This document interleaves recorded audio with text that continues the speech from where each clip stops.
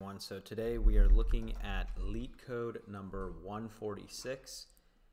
It's called LRU cache. Um, this is a very infamous problem. You can see that the frequency at which this is asked is very, very high. Amazon 80 times in the last six months, Microsoft 40 times, Facebook 25 times. So this is definitely a data structure that you want to be familiar with because as you can see, it is very much frequently asked. Okay, so we're gonna we're gonna um, first of all get really clear on what an LRU cache is, and then we can kind of figure out a strategy on how to how to approach this problem. Okay, so our prompt here is design a data structure that follows the constraints of a least recently used cache, LRU cache implement the LRU cache class, we're going to have um, a constructor that's going to take in capacity, okay, and uh, the size will be a positive number. We're going to have a get method that is going to take in a key and it's going to return the value of the key if it exists, otherwise return a minus one.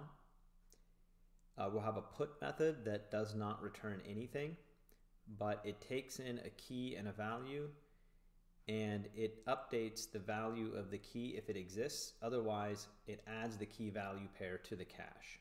If the number of keys exceeds the capacity of this operation, we need to evict the least recently used key. And then we have a follow up here is could we do this, could we do get and put in uh, constant time complexity? Okay, so let's take a look, let's get clear on what an LRU cache is. Okay, so let's say I have, uh, I have a cache, I'm gonna have a, set it as a capacity of three. Okay, so here we'll set the capacity of our cache to three. And we're gonna have four elements. We're gonna have, uh, let's say one equals A, two equals B, 2 is going to map to B, 3 is going to map to C, and 4 is going to map to D.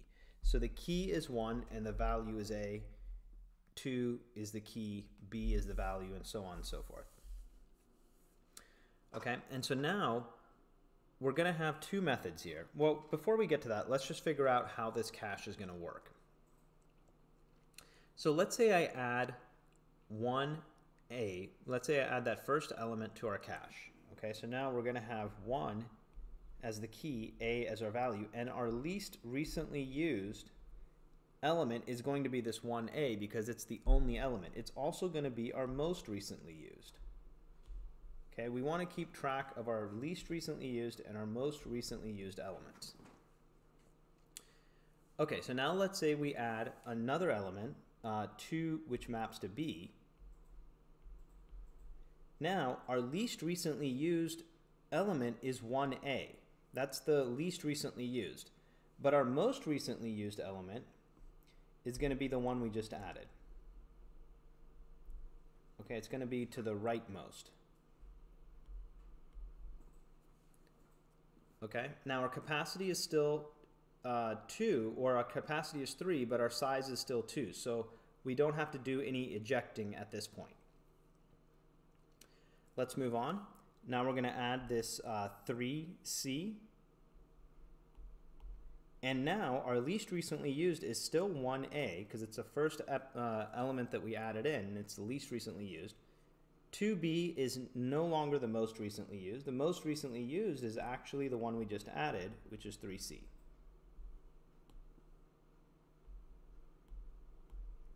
Okay? And so now our data structure is at capacity. We have three elements in our, in our cache. And so now when we try to add this 4D here, we have to eject the least recently used element and then add our new element. Okay, so if we're at capacity, what do we have to do? Well, we have to eject this 1A because we, we can't put in that 4D because the, the, the cache is full. So here what we're going to do is we're going to eject this 1A. Okay, Let's go ahead and get rid of that 1A. We're going to move the 2B is now going to be the least recently used. So I'll go ahead and move 2B and 3C over. Okay, so this will be 2B, 3C. And now we add our 4D, which is going to be our most recently used, and we are still at a capacity of 3. Okay, so that is, that is the logic that we want to follow if we're dealing with adding elements to the cache, whether we are under capacity or what we do when we go over capacity. So now, what if we want to, what if we want to get an element, right? What if I want to get this 3C?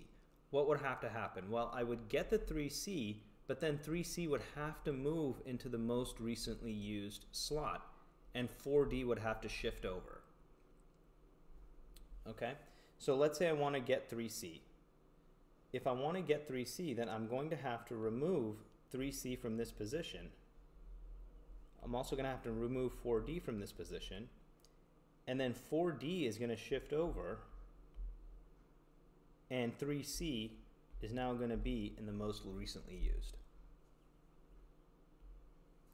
Okay, 2b is still in the least recently used. And so whenever I get any element, it's automatically going to get removed from that position.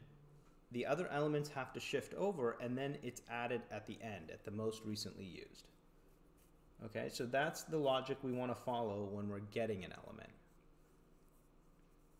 What if we want to set an element? Let's say we want to, we, we don't want to remove an element, we don't want to get an element, and we don't want to add an element, we want to take a current element and change the value. So let's say 4D, I want to change it to 4E.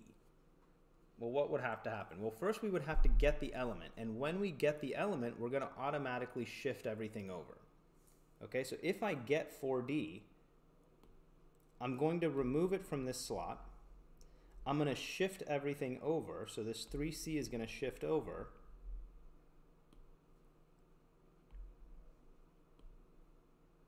Okay, so this 3C is going to shift over. This 4D will now be in the most recently used. And now I can just change the value here of this D to be the new value, which I can set to E. Okay, so that's the idea behind the LRU cache. We want to check capacity. We want to check if we're if we're updating a key value or we're adding a new key value and we want to make sure that we shift everything over and we maintain order. So a great data structure that solves all of this is using a map. Okay, a map data structure, we can do constant time lookup. It retains order unlike an object or a hash map. We do have guaranteed order. And we have a constant time lookup and um, uh, we know that, that because it retains order, whatever's to the left of the map is going to be our least recently used, and whatever's right of the map is going to be our most recently used. Now you can also use a doubly linked list, but I think a map, using a map is a much more efficient way and an elegant way of solving this problem. Okay, so let's go ahead and jump over into our code here. And so first thing I'm going to do is I'm just going to get rid of this and just use uh, ES6 class syntax. I think it's a little bit cleaner. So we'll call this LRU cache, okay, and then we'll go ahead and have a constructor. And we'll set it with a capacity. And then we can call this dot capacity. It's going to equal capacity. And then we can use a map here. Okay, we can say this dot map is going to be uh, a new map. Okay, and now we're going to have our two methods. We're going to have our get method, which is going to take in a key, and we're going to have our put method, which is going to take a, in a key and a value. Okay, so now with the get method, what do we want to do? we want to check does the key exist? Okay, if it exists, then what we want to do is get the value and rearrange the, the element that we're getting and put it in the most recently used slot, which is the one at the rightmost. Okay, so essentially what we're going to do is just remove that, delete that element out of the map, and then just add it right back on. Okay, and that'll all be done in constant time. So what first what we can do is we can check if this dot map dot has key. Okay, is the element in there? If the element's not in there, according to the prompt, we want to return minus one. Okay, if the key exists, if otherwise, return minus one. Okay, so if the key is not in there, then we just return minus one. Now, now that we know that the key exists, what do we want to do? Well, first we want to store the value into a variable. Okay, so we can say this dot map dot get key, that's going to give us the value. And then we want to just delete this, this key value pair from the map. Okay, because that will take it out of the ordering. So if it's in the middle of the map, it takes it out and then we add it right back on, it's going to add it onto the end, the rightmost, which is our most recently used slot. So we can just do a this dot map dot delete key, and then we're going to add it right back onto the map. This dot map dot set key and val. Okay, and then we're just going to return our val.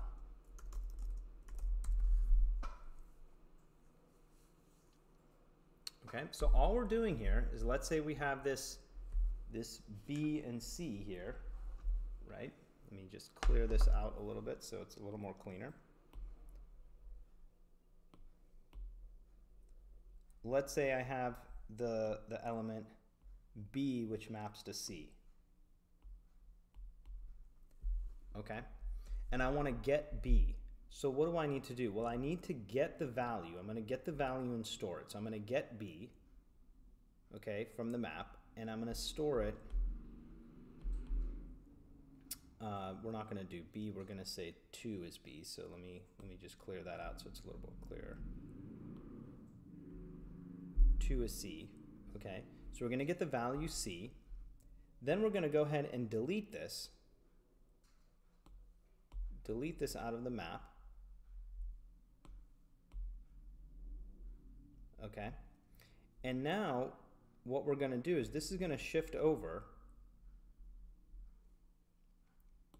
Okay, so we have 4E. And now we go ahead and add, the key is in the input. I believe it was 3. The key is in the input already. And so now we just set the new map. We just set uh, 3 to C and then we return this value, which is C. So the, so the ordering of the map uh, is correct. Okay? So that's all we got to do for the get method. Now for the put method, what do we want to do? Well, first we want to get the value. We want to check if this dot get key is not in there, okay? If it's not in there, what do we want to do? We have to add something to the uh, to the well we don't want to add anything yet what we want to do is we want to check if it's not in there if it's not in there that means we have to add a new element to our map okay? But before we can do that we have to check the size of it. We have to check uh, are we at capacity? So we can check if this dot capacity equals uh, this dot map dot size. Okay, if we're at capacity, then what, we, what we want to do is remove the least recently used element, which is the leftmost element, which is the first element if we traverse through it. Okay, so what we want to do here is just go ahead and create a for loop. Say for let key val of this dot map we're going to iterate over the map like we would do an array or any other thing. And the first element, we just want to delete. Okay, so when we when we iterate over a map, it's gonna it's gonna do this in a tuple, um, an element an array with two elements. The first element will be the key. The zeroth indexed element will be the key. The one index uh, value will be the value. So all we can do, all we need to do here is just uh, delete that. So this dot map dot delete key val at index zero and then we break out of this. Okay, so now we have removed the re least recently used element if we were at capacity, so we have an extra space, and now we just add this to our to our map. So we just do a this dot map dot set key val. Now, you may be thinking that the order might get messed up, but remember, even in this is statement, because we're calling this uh, class method here, this dot get, and we're getting this key, we are going to rearrange everything when we call that get method, even to check if something's in there or not. So even if we're dealing with an element where we're updating it, it will be in the correct order. Okay, because when we call this method right here, even if we're checking a conditional, it will it will call it call this method right here and it will rearrange everything uh, in the correct order.